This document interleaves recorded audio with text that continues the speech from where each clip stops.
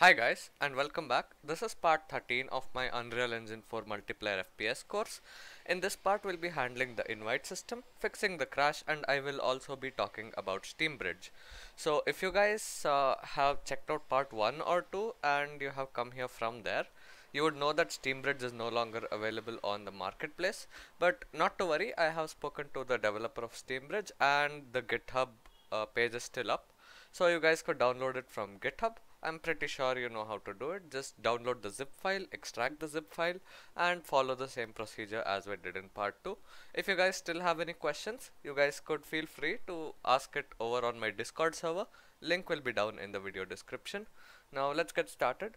So in order to fix the crash so if you guys would know uh, in our ready system so what would happen is sometimes uh, all these events running together crashes something heading back into the root cause is a bit difficult. So just a small fix is just adding a tiny delay of about 0.1 seconds over here when you actually refresh.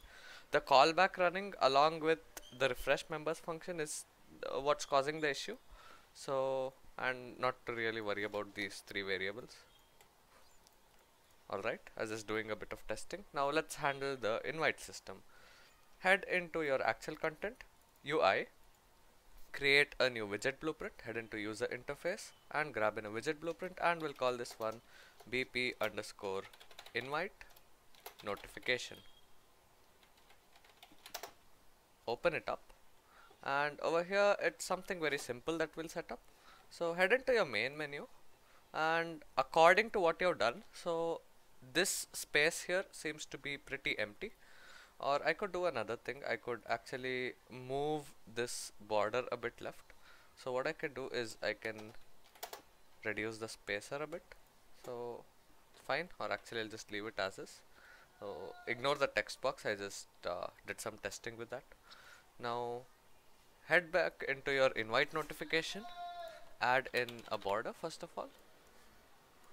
And you also want to add in a button and this button will have some text as well as the border. So add in some text on the border as well as add in the text on the button. We'll just customize it. We'll call this one accept. You could of course make a decline button as well. I'll just show you guys how to make accept. If you guys really want that guys could request it on my discord server. I I would be more than happy to create that. So just don't mind I was doing a bit of testing again so here is going to be accept. And over here this text block is going to say who invited you. So this position seems about right. And let's just reduce the size a bit. So 20 seems fine. Now over here let's set the background color to something a bit more dark. So brush color is going to be something a bit more dark. Just extend this across the page. Let's say about this much. Reduce the text size again. 18 is enough for this. And we could align it to the center of the border so it looks neat. Let's make this one light and make this one is variable and call this one invite text drag in invite text. And what you want to do is you want to set the text inside invite text on event construct. Now we will need access to a couple of variables. So we will get access to that. So not sure if we should really do this on construct but it's okay. Now from here drag in a format text. And here is going to be the username. User has invited you. So this is the message that we'll have. And for the user we are going to be promoting this to a variable. So create a new string variable and call this one inviter name. Make this of type string expose it on spawn and make it instance editable. Drag in user over here. And once you actually accept the invite so when you press this button you need to be able to head into the lobby and just to make sure the widget actually stays in this position of the screen uh, what I want you guys to do is add in uh, anchors. So add in a center anchor and do the same over here as well. Add in a center anchor. So this way relative to the center it's going to be in the correct position. And that's what we kind of want.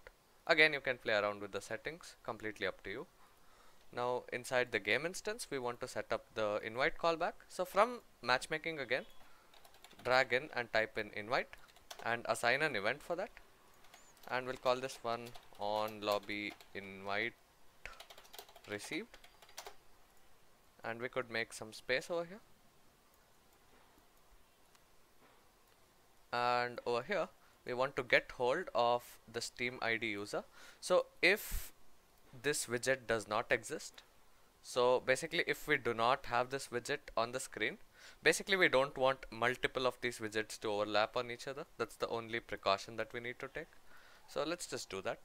So this is the user who is inviting and this is the lobby id so now what we want to do is get hold of the lobby ID and we want to create the widget.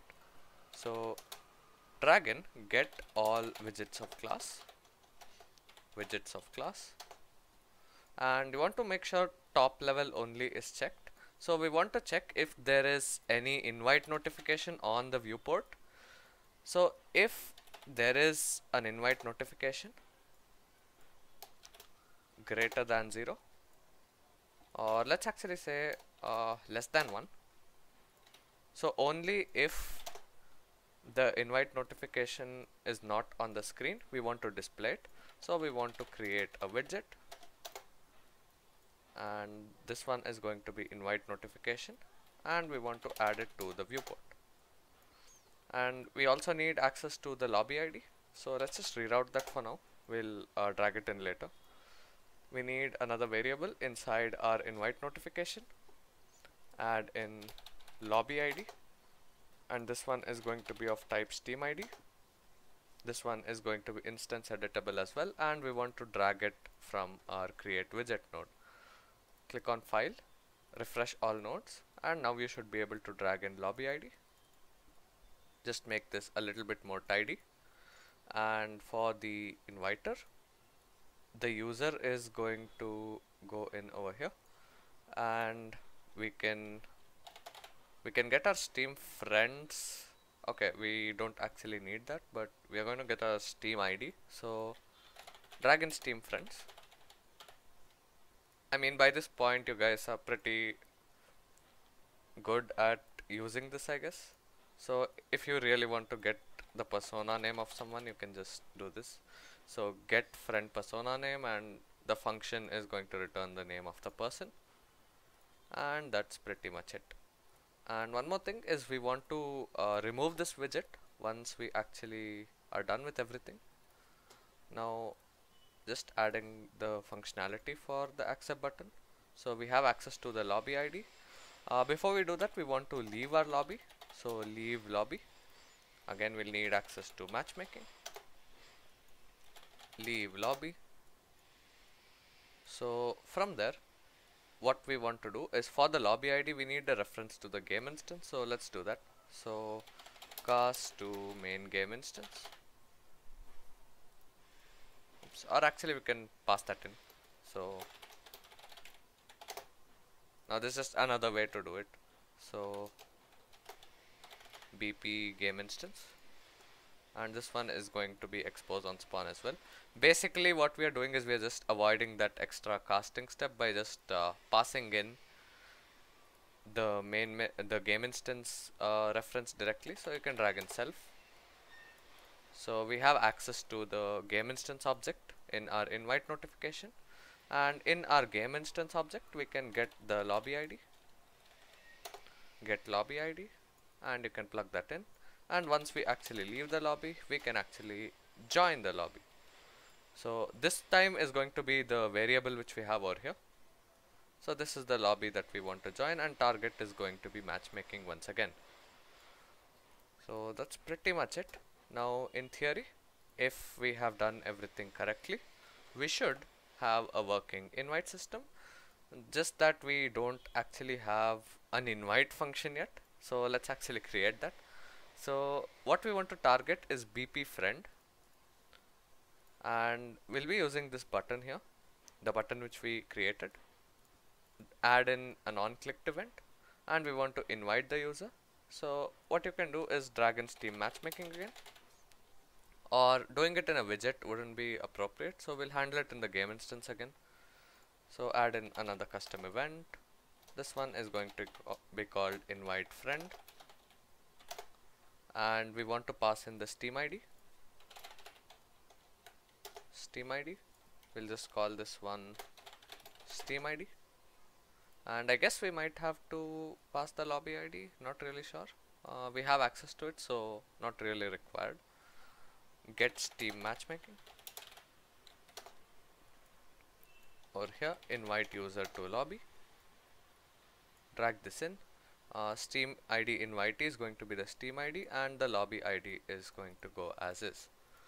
And now in our friend widget what we can do is we can get our main GI and we can invite. So invite friend and steam ID is just going to be our own steam ID or rather it should be the steam ID of the person who we are inviting. So this is going to be uh, this steam ID is rather going to be the steam ID of the person who is going to be invited apologize for that so that's it for this video guys Thanks for watching. If you guys did find it useful, please make sure you guys do leave a like and make sure you guys are subscribed to the channel if you haven't already and make sure you hit the bell icon so you won't miss any future videos. Goodbye.